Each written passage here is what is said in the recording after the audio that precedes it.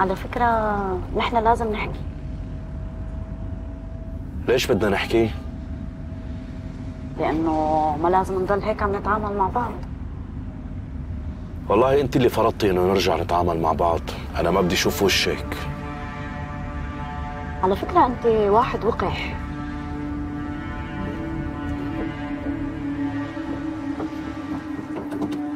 أنا مو أوقح منك. شفتي وقعتك لوين وصلتك؟ دحشتي حالك بالبرنامج معي ودحشتي حالك بالسهرة ودحشتي حالك بالسيارة. رح أترك لك إياها وأنزل. تترك لي إياها؟ ولا قصدك إنك تهرب؟ ما هو هذا العادي تبعك إنك تهرب. لأنك واحد جبان ما بتعرف إنك تواجه. من وقت حملت حالك وسافرت وما بقى رديت علي وبالأخير شو؟ بتطلع متجوز.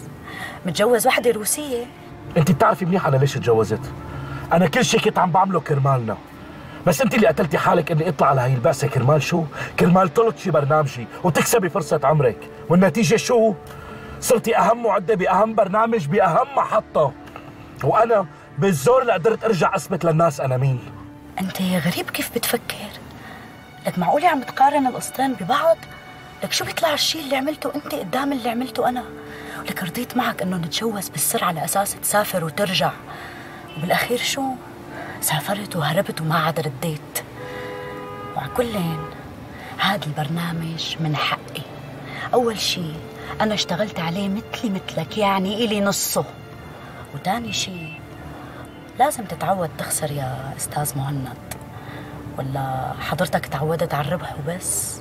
ولو على حساب العالم. أنت شو بدك هلا؟ قصه وخلصت أنا سافرت ونجحت وانت أمورك ماشية. شو لسه بدك بقى؟ ما حزرت. القصة خلصت عندك بس عندي ما خلصت. ودير بالك كتير منيح مني.